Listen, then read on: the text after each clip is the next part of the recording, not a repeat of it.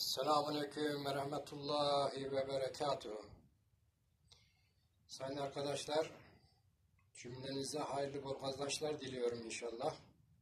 Hepimiz adına. Şu elimde gördüğünüz bir neydüm mıknatıs arkadaşlar. Bakın bunu şakil olarak yaptım. Araziye çıktığınız zaman meteor aramada çok etkili arkadaşlar. Bakın kesinlikle ben müdahale etmiyorum.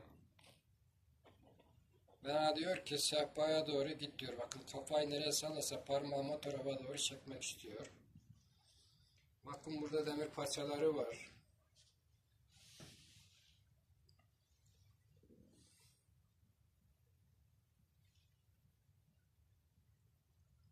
Bak hala kafa tarafa doğru uzatıyor. Bakın bir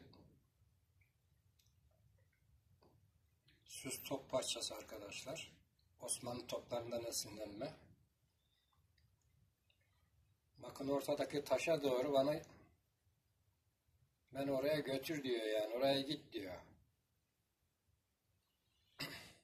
Bakın ben onu dinlemedim. 2 metre ayrıldım ben ondan. Koluma ve elime iyi bakın veya ona bakın. Tabi o zaman da gözükmüyor. Şöyle yapsam. Bakın nasıl çekiyor o tarafa doğru kafayı atıyor arkadaşlar. Allah sizi inandırsın. Benim hiçbir müdahalem yok. Bakın o tarafa doğru gidiyorum. Yavaş yavaş. Bakın burada bir gümüş yüzük var. Bilmem görüyor musunuz? Onu da geçti. Git diyor.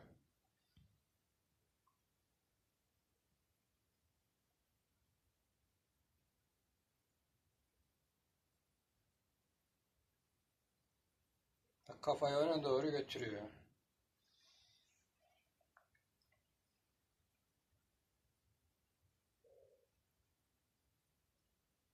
Bakın üzerine geldiği zaman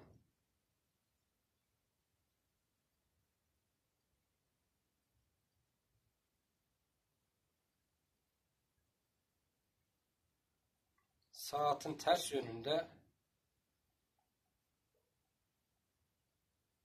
meteorun taşının manyetik alanından etkilendiği için daire çiziyor arkadaşlar.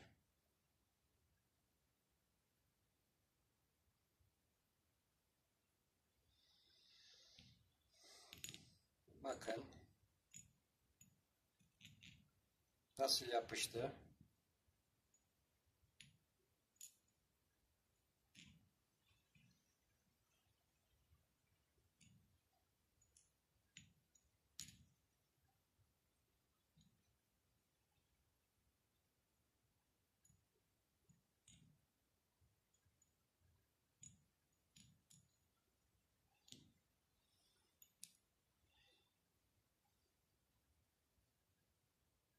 Nasıl çekiyor?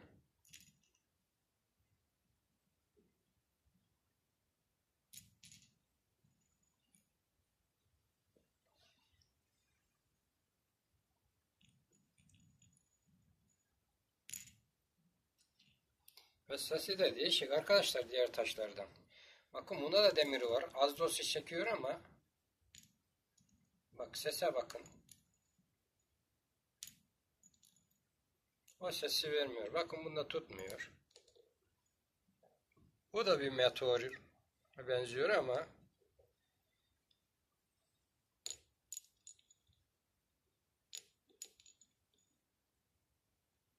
Bakın o da bir yanmış meteor gibi. Bunda da az bir şey tutuyor ama sesi çok değişik arkadaşlar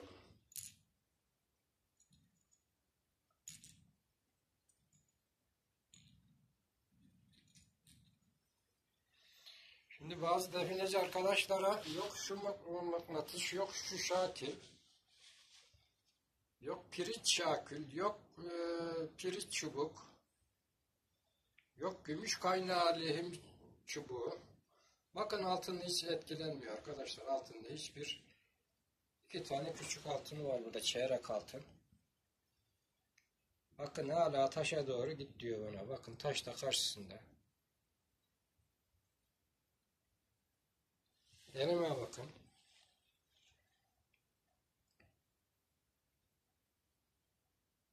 Nasıl beni o tarafa doğru, beni götür diyorsun resmen. Ve üzerine gittiğim zaman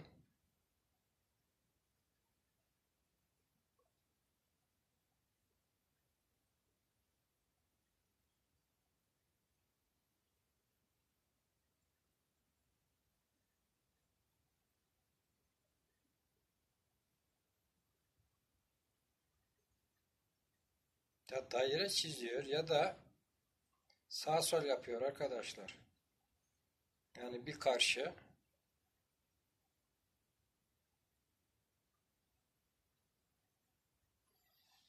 ve ondan sonra da daireye başlıyor. Sanki biraz karanlık gibi geldi bana. Şimdi birini daha ben açayım da.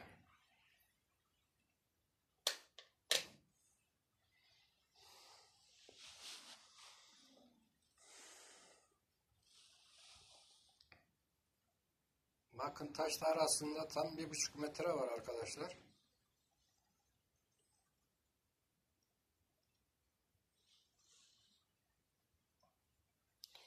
Bunu ona götürdüğünü nasıl anlayacağız? Ne tarafa çok itiyorsa parmağınızı onun da bir güç tabi şeyi var. Onu hissetmeniz lazım. Tabi bu herkeste çalışır mı? Onu bilemem. Denemenizde fayda var.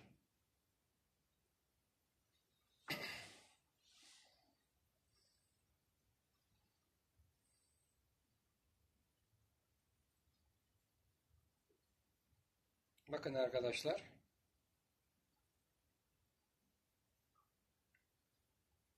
Sanki parmağım oynuyor gibi geliyor ama kesinlikle ben müdahale etmiyorum.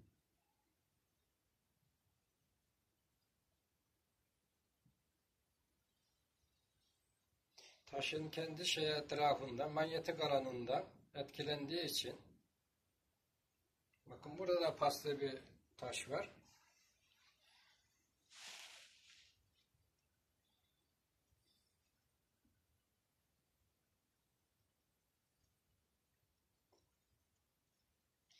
Bakın dinle anlayamadığınız zaman Bakın kafayı ne yaptırıyor arkadaşlar. Solunuza gidin diyor. Çünkü benim sol tarafım. Sağına geçeyim.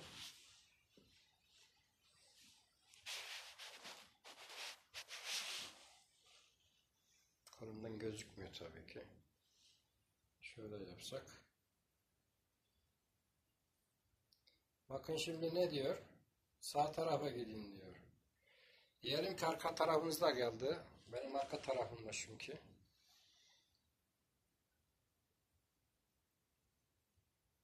Bak arkadaşlar. Arkaya doğru daire çiziyor. Bakın bu kanepe demir.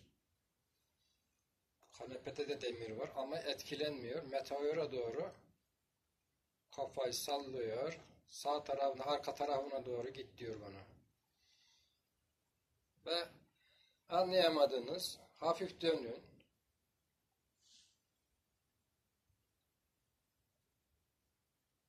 Sağa git diyor. Bu sefer meteor önümü alıyorum arkadaşlar. Bakın ona doğru kafayı nasıl sallıyor.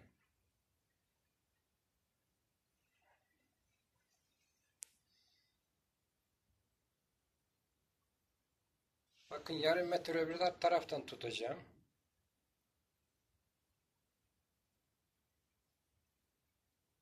Soluna gel diyor. Git diyor bana. Taşa doğru. Bak arkadaşlar. İnanın nasıl bir etkilenme var.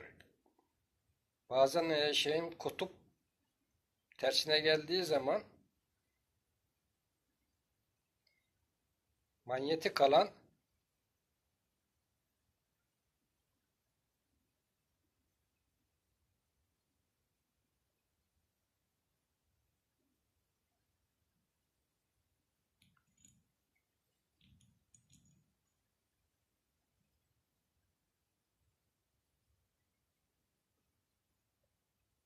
Parmağımı şöyle tuttuğum zaman bakın daire yapmıyor arkadaşlar. Ayırdığım zaman yapıyor. Bu sefer de kolum oynamış gibi oluyor.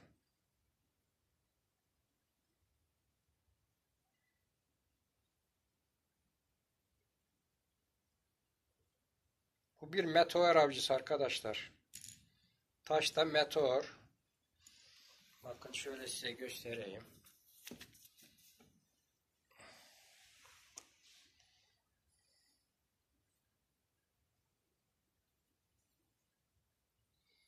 Dış kabuğu yanık arkadaşlar. Resmen bir şeyle döküm yapılmış gibi. Bakın şuradaki çeyrek altın var. Defineci arkadaşlar sakın şu ile şakül böyle şakül sakın aldanmayın. Sizde çalışmaya da bilir. Bakın belki bunlar da meteor. Buna da demir var tutuyor ama bunlar da e, tutmuyor. Bir obsidyene benziyor sanki. Bakın bu taşta da bir yanma e, şey var ama meteor değil tabii ki. Bu da Nevşehir'den Lüle taşı Eskişehir'den gitme oraya. Çok güzel işçilik yapmışlar. Bu paslı bir demir oksidi olan bir taş. Ama kesinlikle buna hiç tenezzül bile etmiyor Şakül. Ben izlediğiniz için teşekkür ederim. Sabrınızdan dolayı herkese Allah'a, herkesi hepimizi Allah'a emanet ediyorum. Saygılar, sevgiler, hoşça kalın. Hayırlı bol kazançlar diliyorum. Sağ olun, var olun.